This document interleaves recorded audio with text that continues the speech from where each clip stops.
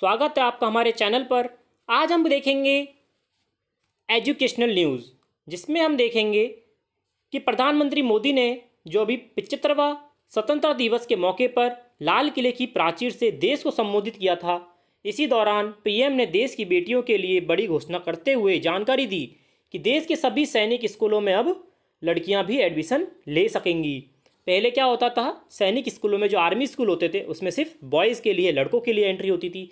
अब वह लड़कियों के लिए भी खुल चुकी है। पीएम ने बताया कि मुझे लाखों बेटियों के संदेश मिलते थे कि सैनिक स्कूलों में पढ़ना चाहती है। ढाई साल पहले मुझे मिजोरम के सैनिक स्कूल में बेटियों के प्रवेश देने का प्रयोग किया था। अब तय किया गया है कि देश के सभी सैनिक स्कूलों में देश की बेटियों के लिए भी खोल दिया जाएगा। इक्कीसवीं शताब्दी जो इक्कीसवीं सदी चल रही है। इक्कीसवीं सदी के भारत की ज़रूरतों को पूरा करेगी एन ई क्या है? हमारी नेशनल एजुकेशन पॉलिसी है। नेशनल एजुकेशन पॉलिसी जो कि 2020 में बनी थी।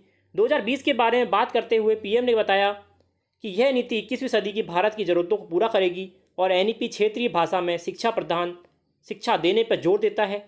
इसकी मदद से गरीब बच्चों की अपनी मातृभाषा में पढ़ाई कर सकेंगे, जिससे उनकी क्षमताओं के साथ न्याय होगा।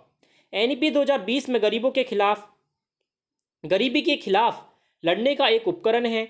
इसकी मुख्य विशेषताओं में से यह एक है कि यह खेल शिक्षा को पाठ्योत्तर के रूप में नहीं, बल्कि इसे मुख्य धारा की शिक्षा के हिस्सा बनाती है। एनईपी जो हमारी नेशनल एजुकेशन पॉलिसी है, उसमें चेंज किया गया है और उसमें जो सैनिक स्कूलों के लिए भर्ती होती है, उसमें गर्ल्स को भी एडमिशन दे दिया गया है। तो आपको इस जानकारी से काफ़ी हेल्प मिलेगी। जो भी बेटियाँ पढ़ना चाहती हैं, आर्मी स्कूल में अपना सपना साकार करना चाहती हैं वे इसमें एडमिशन अब ले सकती हैं। धन्यवाद।